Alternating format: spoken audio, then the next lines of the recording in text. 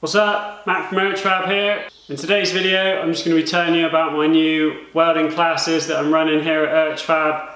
So anyone that wants to uh, come here for a visit and learn how to weld is now welcome to. I'm going to be running uh, various different classes starting with just a basic beginners class. So you'll start from scratch. I'll show you how to set the machine up all the way up to running some beads and uh, you'll get experience of uh, MIG and TIG and also stick welding if that's something you want to experience on the day. That course will give you the knowledge to be able to go out and uh, buy yourself a, your first machine and, and know that you can uh, set it up and get going.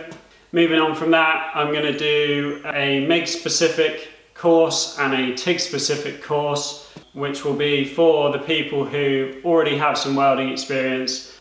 So in, in those courses, I'm going to be teaching you uh, advanced machine settings, different techniques for different materials. We'll do some troubleshooting so that you can really spot what is going wrong, when it's going wrong, and understand how you can correct that.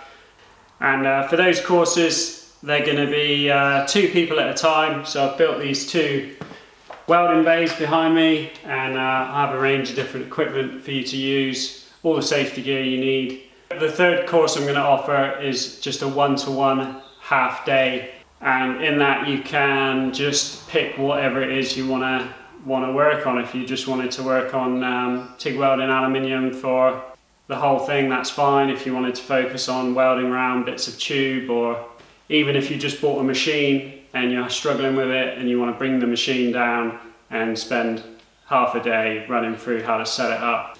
The cost will be 250 per person and uh, if you want to come down and stay down here there's loads of accommodation around this area.